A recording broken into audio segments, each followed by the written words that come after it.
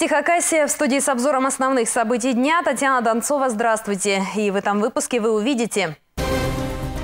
Подробности громкого убийства. Материалы по делу Ольги Швецовой готовы для передачи в Верховный суд. Конкурс коммунальных проблем. Подъезды Хакасии соревнуются за звание самого худшего. Возрождение стройотрядов. Энергетики выбирают потенциальных коллег из числа сегодняшних студентов. Сразу несколько муниципальных образований республики сегодня празднуют победу. В правительстве Хакасии подвели итоги конкурса, который по своей сути далек от творческих смотров художественной самодеятельности. Чтобы завоевать звание лучшего, селам и городам пришлось серьезно потрудиться. Так кого же жюри признало победителем, расскажет Анна Ахпашева. История республиканского конкурса среди муниципалитетов началась в 2007 году. Цели благие – стимулировать сельские власти, а те, в свою очередь, местное население на активную общественную деятельность. Реализовать все задумки и планы помогает призовой фонд. Кстати, за пять лет он увеличился в 20 раз, вырос с 300 тысяч до 6 миллионов рублей. Сегодня победители в номинациях получают приз почти полмиллиона. Эти деньги идут на воплощение проектов. В списке самые разные идеи. Большинство вполне осуществимы. Благоустройство сквера, детской площадки, аллеи славы мемориалу Победы, капитальный ремонт дороги и реконструкция сельского стадиона. Конкурсанты настаивают, общественной инициативе нужна только финансовая поддержка. Если вы нам поможете, мы сами будем городить, мы сами будем участвовать э, в установке детской площадки, мы сами будем помогать все работы проводить. Есть и весьма неординарные проекты. Кирбинский сельсовет Избейского района рискнул и заявил на конкурс систему экологически чистой возобновляемой энергии. В проще – ветрогенератор. Социальный центр села, где находится школа, детсад и клуб, несколько лет назад остался без уличных фонарей. Провести электролинию местному бюджету не под силу. И тут общими усилиями нашли гораздо менее затратный проект. Именно он принес первое место в конкурсе. Как и другие победители в шести номинациях, Кирбинский сельсовет получил 400 тысяч рублей. Мы решили произвести как бы пробный э, эксперимент. Если он получится у нас, вся республика может э, воспользоваться нашим опытом. Кроме того, мы оформляем сайт Ахтуры, вот э, нашего ТОСа, на котором будем пошагово информировать, что мы сделали. Победителей награждал временно исполняющий обязанности главы Хакасии Виктор Зимин. Поддержка малых сел сегодня приоритетное направление развития республики. Предстоящему празднику руководство сделало еще один подарок муниципалитетам. Хотел бы вам лично пообещать, что этот конкурс в 2014 году при наличии таких мощных кураторов ну, будем, другие цифры будем освещать абсолютно. Я сейчас стимулирую ваше рвение к этой работе, к конкурсам. Ну, давайте возьмем начало такое еще в два раза его увеличим, да? Сделаем 12 миллионов 300 тысяч рублей. Анна Ахпашева, Дмитрий Парахин, Вести, Хакасия.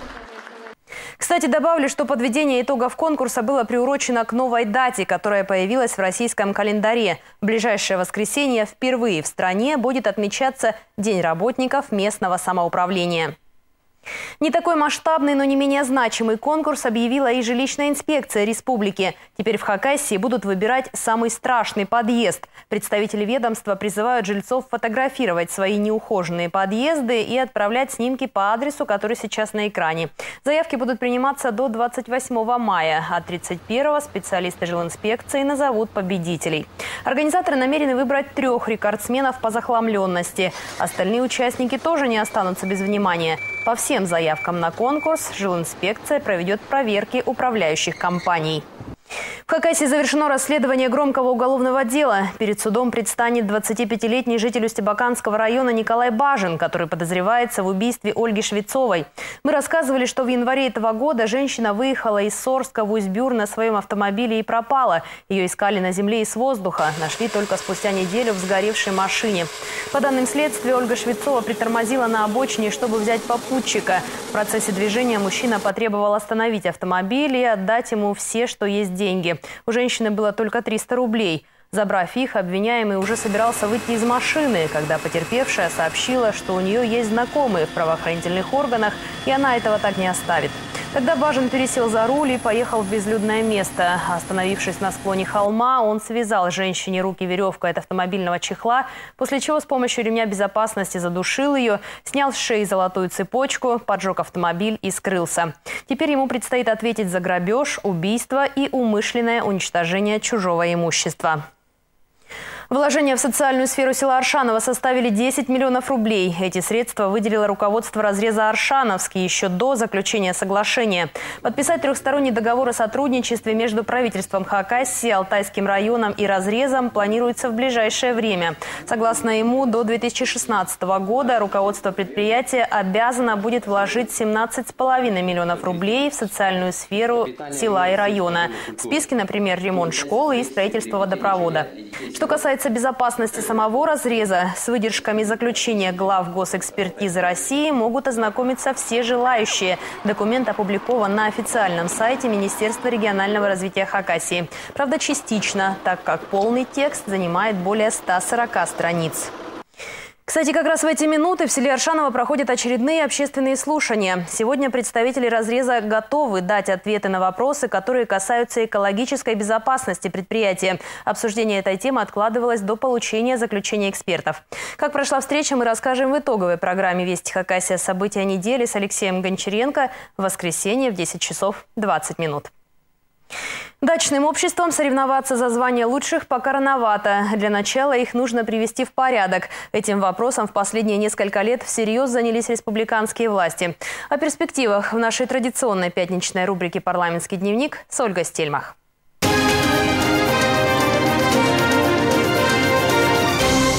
Апрельская сессия Верховного Совета выдалась насыщенной. Более 30 вопросов в повестке.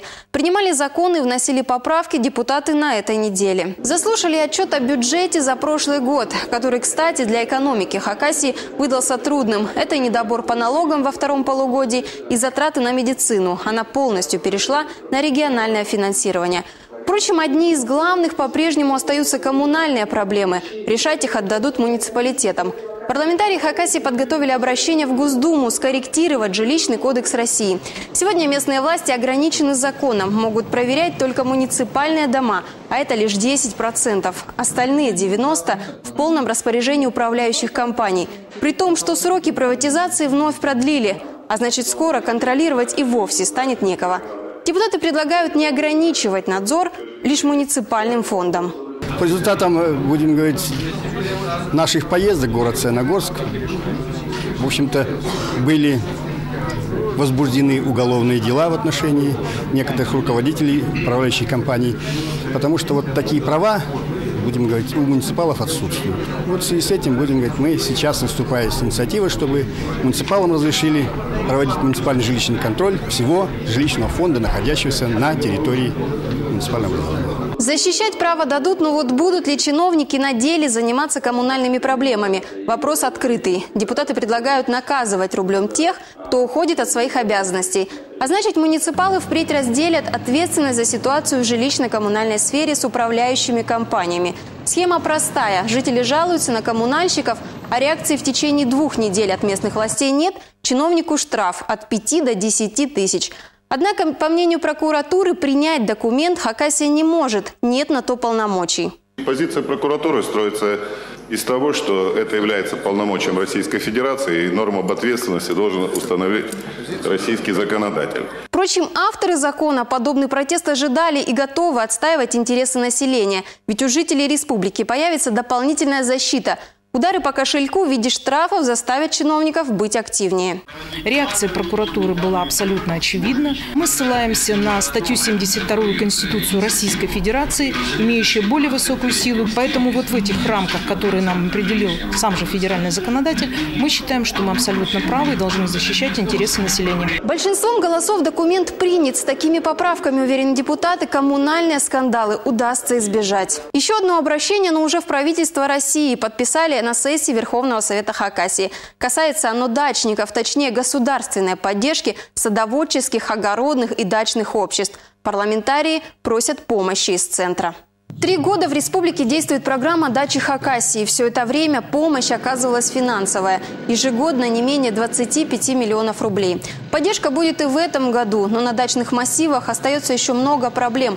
В первую очередь это плохая инфраструктура, дороги, электро- и водоснабжение. Между тем, около 80% овощей и картофеля Хакасии выращивают на дачах и более 90% плодово-ягодной продукции. А многие жители республики и вовсе обеспечивают продуктами свои семьи только за счет урожая загородных участков. Это проблема не только нашего региона. Дачные объединения самостоятельно с ней не справятся. А с бюджетом республики решать ее придется многие годы. Для того, чтобы принципиально изменить ситуацию, нужны, э, наверное, значительно больше ресурсов финансовых. И мы считаем, что без поддержки с уровня федерации крайне сложно решить все проблемы, которые сегодня есть у дачников. Они копились эти проблемы годами, десятилетиями. И за два, за три года практически невозможно решить силами бюджета республики. Поэтому мы обращаемся в адрес э, Российской Федерации, в адрес правительства Российской Федерации с тем, чтобы действительно приняли такую программу, запустили ее и поддержали. По мнению депутатов, необходимо принять федеральную программу на условиях софинансирования с регионом. Парламентарии просят, чтобы федеральную помощь дачники Хакасии стали получать уже с 2014 года.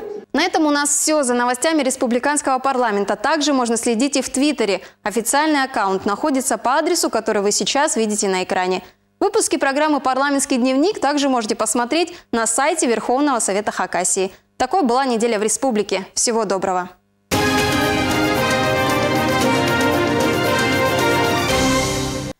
Жительница Абакана подозревается в мошенничестве. Ранее она работала в мебельном магазине и, как выяснилось, собирала в личный архив копии паспортов клиентов. Потом на эти бумаги она начала оформлять кредиты якобы на покупку мебели. При этом деньги поступали на счет, а мебель оставалась в магазине. На данный момент в деле 26 эпизодов. Сама женщина во всем призналась. В Хакасии продолжают гореть леса и степи. Только за минувший день пожарные 26 раз выезжали на ликвидацию палов травы. А с начала весны таких вызовов зарегистрировано уже 200. Основная причина – человеческий фактор. Люди сжигают мусор на дачах и старую траву на полях. Ситуация с лесными пожарами более спокойная. На сегодня ликвидировано 5 очагов на площади 11 гектаров. Леса горели в Усть-Абаканском, Аскиском и Бейском районах. Все возгорания были потушены в течение течение суток. Диалог со студентами выстраивают республиканские энергетики. В стенах технического института прошла встреча представителей магистральных электросетей с учащимися вуза. Как и другие передовые компании, федеральная сетевая делает ставку на молодежь. И, как оказалось, сама молодежь не против. Павел Демидов – инженер-энергетик. Его роль на подстанции одна из ключевых. Нужно следить за показателями приборов, чтобы ничего не вышло из строя. Сюда поступает электроэнергия, которую вырабатывает Абаканская ТЭЦ, а потом передается в сети Абакана-Черногорского узла. Профессия очень интересная, все-таки такая серьезная. Не то, что там какая-то торговля или что-то. Чувствуешь ответственность за людей, за то, что ты таким большим объектом управляешь, и от тебя зависит благосостояние многих людей, работа энергетических объектов, заводов. Еще несколько лет назад Павел учился в этих стенах. Технический институт готовит энергетиков. Сегодня представители магистральных сетей пришли знакомиться с потенциальными коллегами, рассказать о преимуществах компании, так сказать, других посмотреть, себя показать. Многие студенты приходят на предприятия, которые абсолютно не связаны с их специальностью и не знают, что они могут достойно пройти практику, получить бесценный абсолютно опыт, а пройти практику с наставником, у которого за плечами не только опыт, но и знания. Сегодня на хакасском предприятии магистральных сетей работает больше полутысячи человек. Требования к сотрудникам самые высокие. В ответ компания дает массу социальных гарантий. Жилье нуждающимся и программы поддержки – лишь малая часть. Очевидно, сегодня многие студенты сделали свой выбор. Там возможности для развития больше. Это, ну, то есть перспективы роста. Мне нравится, вот я сейчас на четвертом курсе, и вот больше и больше убеждаюсь в том, что это мое. К слову, возрождая традиции энергетики Хакасии впервые в этом году набирают стройотряды. Уже сейчас из желающих студентов выстроилась очередь, но так или иначе отобрана будет двадцатка лучших. И прежде чем попрощаться, анонс наших завтрашних передач. Откроется тематический час в 10 часов 5 минут проектом «Большие деньги». В 10.30 программа «Культура Хакасии», созданная при поддержке регионального министерства культуры. И в 10.50 очередной выпуск «Знай наших». Хлеб всему голова. Речь Речь пойдет о проблемах малого бизнеса. Не пропустите.